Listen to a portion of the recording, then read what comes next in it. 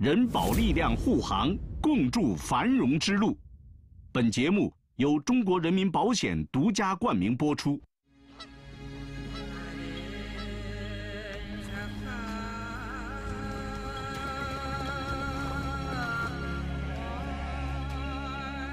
悠扬的长调，洁白的羊群，连天的芳草，奔腾的骏马。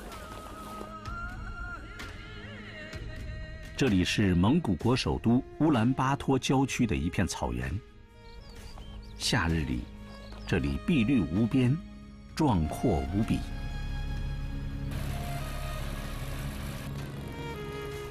巴雅尔从小就在这一带以游牧为生。这些天，他的心情有些郁闷。刚刚迁徙到新的草场，他的几匹马就跑丢了。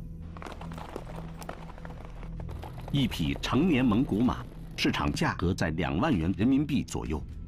为了挽回损失，巴雅尔和他的堂弟已经整整找了三天了。машины чинь дээр нэг 20 к байгаа шүү. Өглөө гараад цайтай цайгүй хоолтой хоолгүй яваад байдаг яваад байна. Хаашаа явсныг би мэдэхгүй юм чинь. 牛羊跟着水草走，牧人跟着牛羊走， 这是传统放牧生活的写照。巴雅尔也不例外。为了照看好三十多匹马和五十多头牛，他每天要在草原上骑行八十多公里。根本无暇陪伴孩子，他渴望改变，却无能为力。一位中国客人的到来，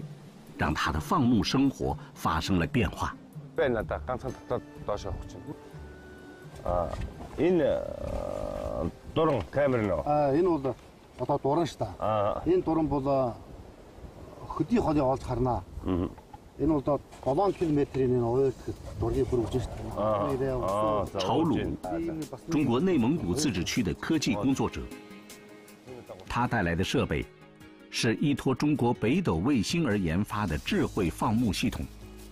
此前已经在中国的内蒙古新疆青海等牧区得到广泛使用。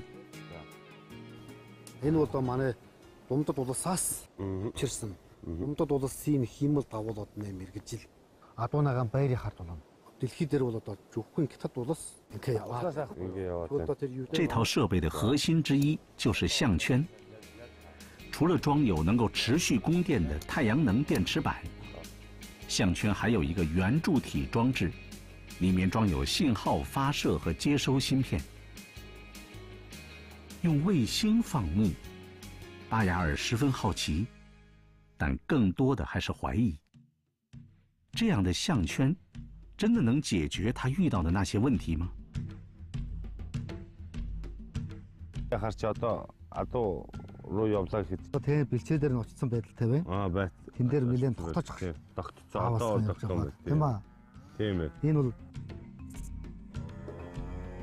果然。戴上项圈后，手机上就会出现牲畜的实时定位和行动轨迹。哦，бол нодон чи стамер юм бол өглөө өглөө би босоод за одоо адуу хаашаа явсан бол хонсон бол гээд хайш. А энийг харсаа уцаа харлаа өө энд байна. Амар юм боллоо сайхан бол. Тэр миний гараас гарахааргүй болчихж байна гэсэн үг. Тий.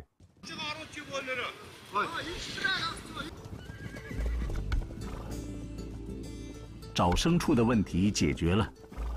但是对于巴雅尔来说，还有一个问题亟待解决。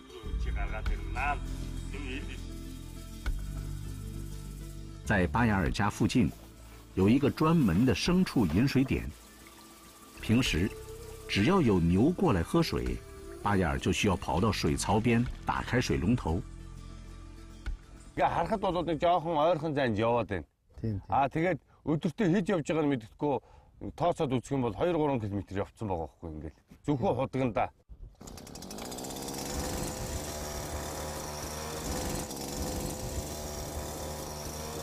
为了解决来来回回开水龙头的问题，陶鲁和他的助手开始安装智慧放牧系统的另一个核心设备。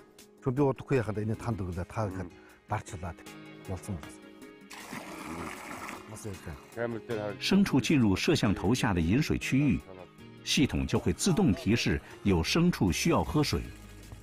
如果水槽里的水不够，就可以用手机操控水龙头。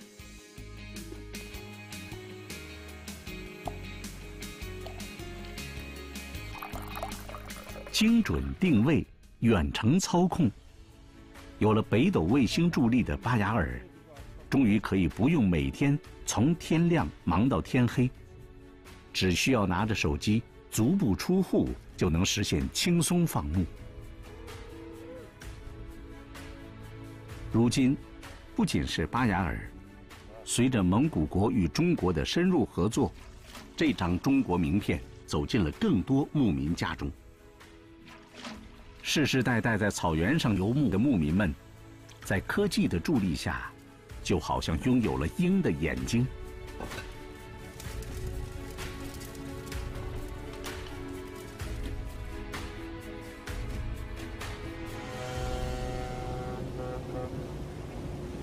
阿布扎比，海面正中。这个庞然大物，就是“一带一路”上的又一张中国名片。亚洲最大的重型自航绞吸船“天鲲号”，这个夏天，他都驻守在这里忙碌作业，用了九个月时间，完成了两座岛屿山体景观的吹填工作。能看到远处的两个山包，这个就是我们在吹填道路的这两个景观山，有这个自行车旅游的步道区，啊，有网球啊，一些娱乐的等等这种项目，啊，也有沙滩啊，对，给当地的这个居民也是提供一个比较好的这么一个休闲旅游这么一个处所。放眼望去，胡达里亚特岛已初显雏形，要从无到有造起一座岛屿，绝非易事。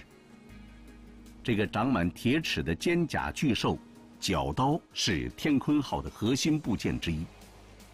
它可直达海底，捣碎最坚硬的砾石。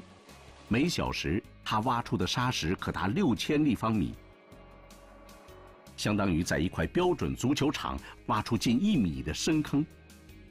依靠海面上的管道，沙石最远可输送到十五公里以外。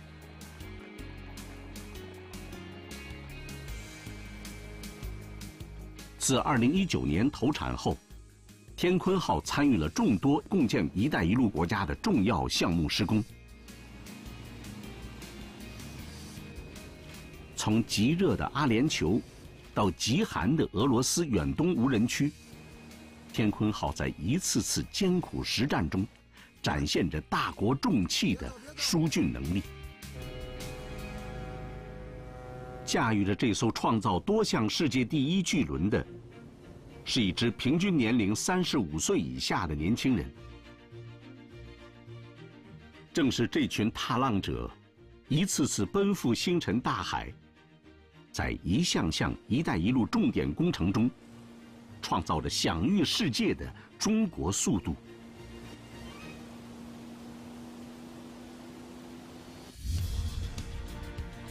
一带一路”上的中国智慧之光，不只有大国重器，还有的与人们的日常生活息息相关。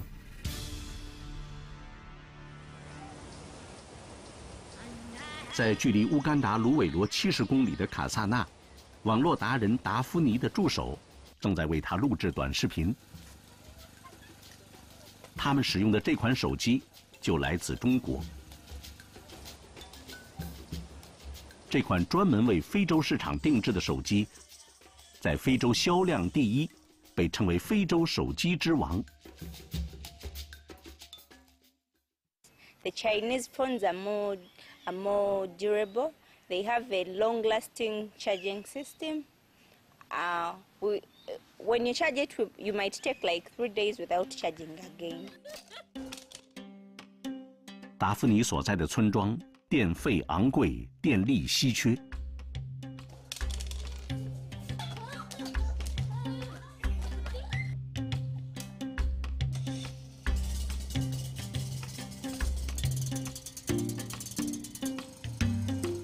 拥有一款超长待机的手机，是他们的迫切需求。而中国的这款手机，最长待机时间可以达到二十天左右。不仅如此，这款手机可以同时安装四张电话卡。让达芙妮最满意的是，中国技术让这款手机具有独特的美颜功能，让爱美的达芙妮有了新的爱好——拍摄短视频。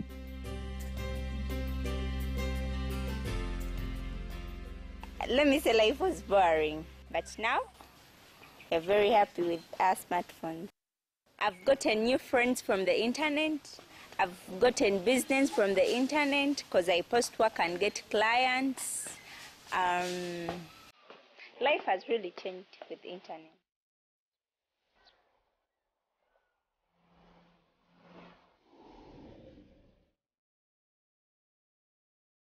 十年来，中国与共建“一带一路”国家科技合作， 秉持开放、包容、合作共赢，成立了五十多家联合实验室，推进了一千多个联合研究项目。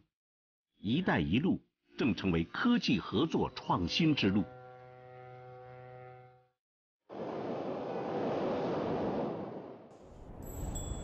数千年岁月的丝绸之路，更迭着数不清的货币。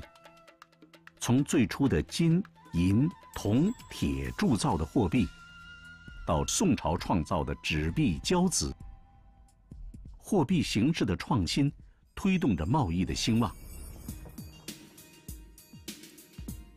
今天，大规模的跨境贸易，更需要货币结算更加通畅和便捷。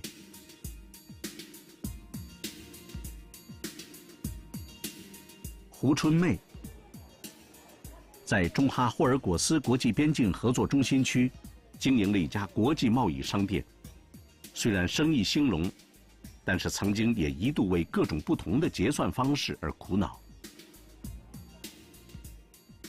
因为货币比较多，有金格啊，有美金啊，还有卢布啊，每当结算的时候会不方便。二零一九年，在中国人民银行的指导下，银联和银行合作，在霍尔果斯中哈国际合作中心试点开展了银联卡 POS 交易离岸人民币结算业务。这不仅让消费者可以毫无顾虑地轻松购物，也为商家。减轻了因结算带来的繁复冗杂的收款负担。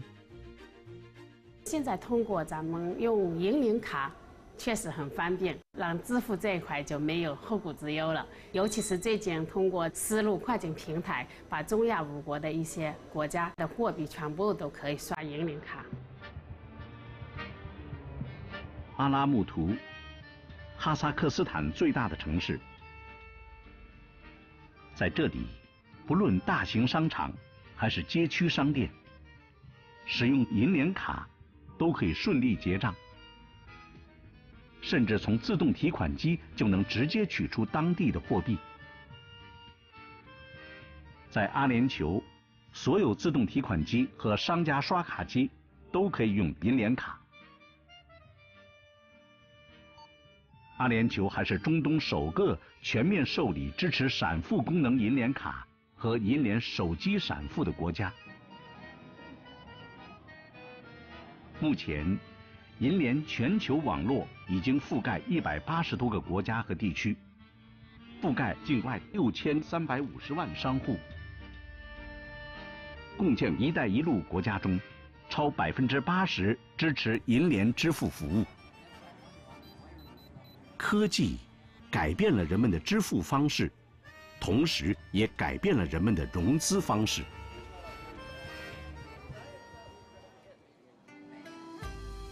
福建泉州，中国乌龙茶之乡。在这里，兴业银行正在利用卫星为茶农发放贷款。那我们通过微信遥感技术呢，想解决的就是融资难尽掉了的问题。我们是把整个茶园呢。它的这个面积呢，我们就给它挂到卫星网上面去。每八天呢，我们就跑批整个种植数据，把它的这个数据资产转换成我们的金融资产。监控作物生长状况，评估茶叶产值，将茶园资产量化，以茶园数据作为抵押物，让茶农快速便捷的贷款融资。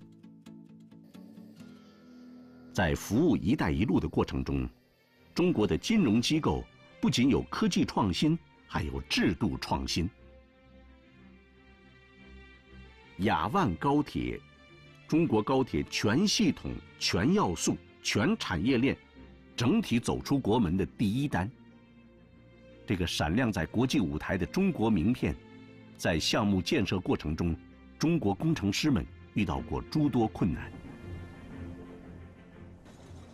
在向梁架设的过程中啊，向梁运输啊，如果突然遇到这个大雨啊，运粮车司机啊视线的可视距离啊，会变得非常的小。这样的话，在行车的过程中啊，容易造成这个行车脱轨的风险。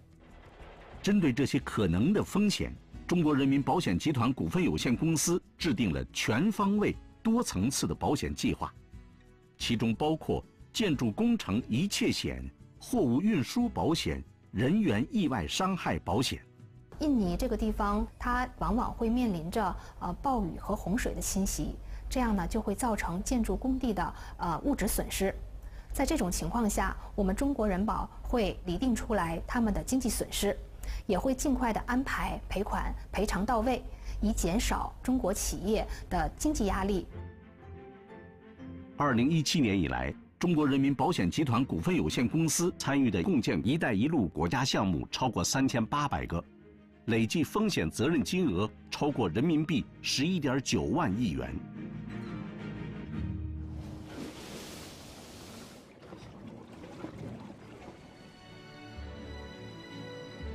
从四大发明里的指南针，到太空里的北斗卫星，从古老丝路上的以物易物。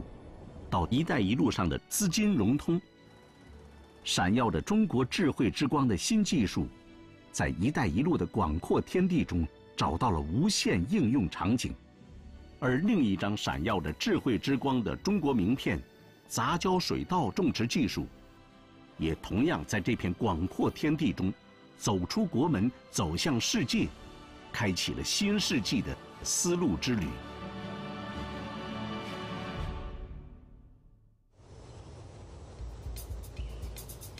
扎拉若罗，位于马达加斯加南部，全球著名的攀岩圣地之一。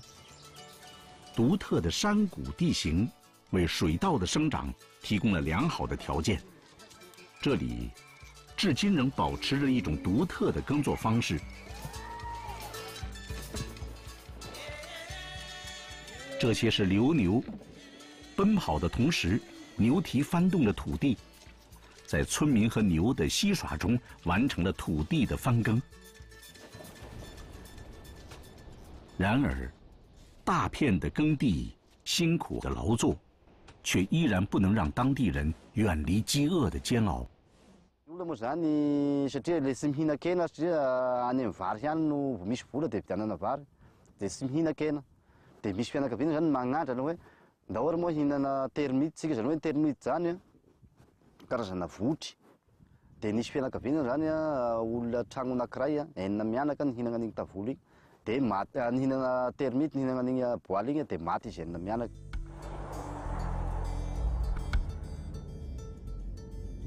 南部地区相当贫困了，那真的没东西吃，仙人掌你都吃过啊？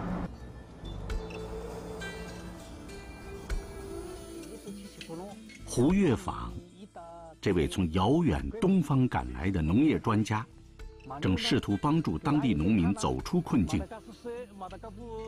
虽然对马达加斯加南部山区农业落后早有耳闻，但眼前的现实依然令他吃惊。还是靠那个原始生产，靠天吃饭。他们对外边的那个信息不了解，就是我们的杂交水稻，他们也只是有部分农民。进省城的时候，听说而已，他们根本就不知道。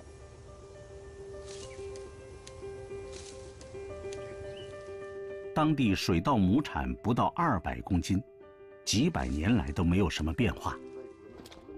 他们无法想象，居然还有一种水稻种子可以让产量翻倍，轻松达到五百公斤以上。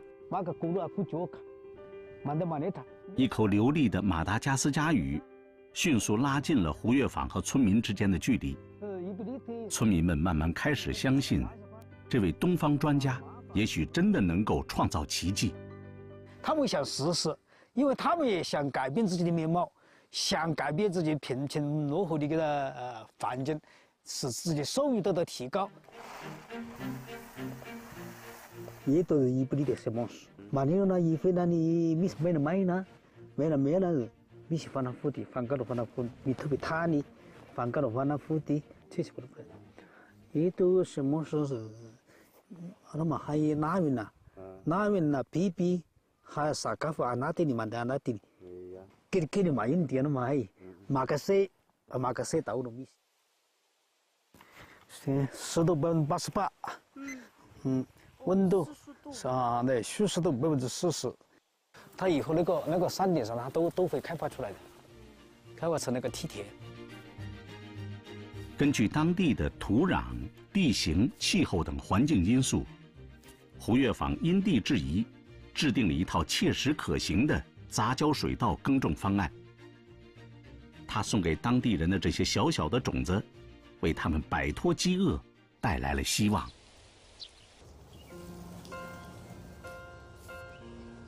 位于塔纳纳利佛的中马杂交水稻开发示范中心，是中马两国“一带一路”的农业合作项目醒目标志。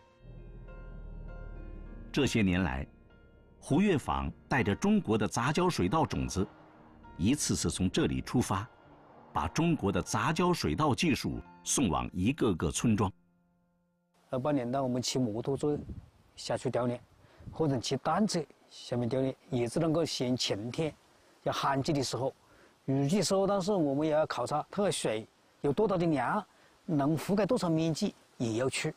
那我们就做牛车，为什么呢？它那个垄啊，就空空洼洼，比较泥泞呐。他就只能用牛车去，因为牛车的轮子有这么大的轮子吗？这么大轮子。要想杂交水稻的种子在这片陌生的土地上扎下根，人必须先扎下根。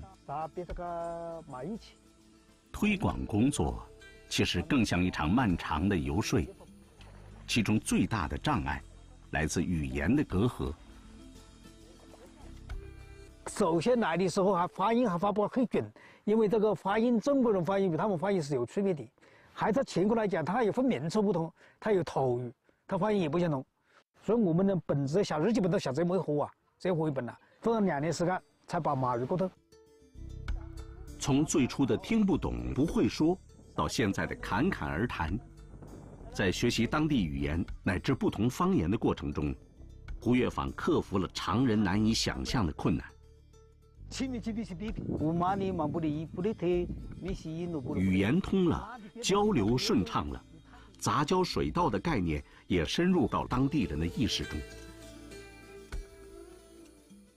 nafatarako voalohany an'ity rybride ty a dia nisy teknisianina tany amin'ny fampiofanana tao amin'ny kafopa dia nandray anjara tamin'izay a dia tamin'ny voalohany aloha a tsy dia niny ihany satria avoroeny amin'ilay vokatra hatramin'izay no any fa nanandrana dia nahita tsirony dia tamana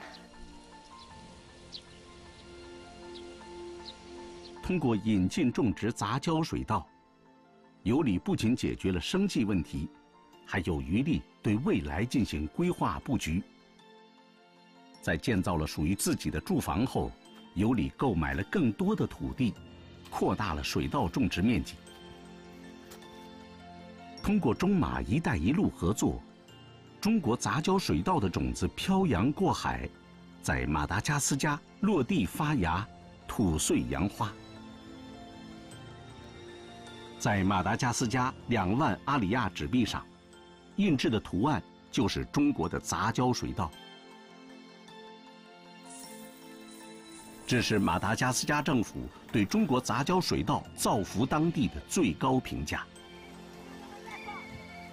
中国种子在异国他乡扎下根，结出累累硕果，共建“一带一路”倡议，也像一颗种子。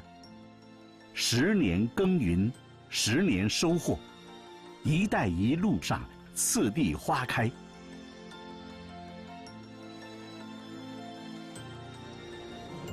一带一路”从物理空间到数字空间。从看得见的交易，到看不见的服务，它为全人类搭建了一个实现梦想的平台。它让一切新技术、新理念、新成果，在这里交流交融，碰撞出人类智慧之光，照亮着更远的远方。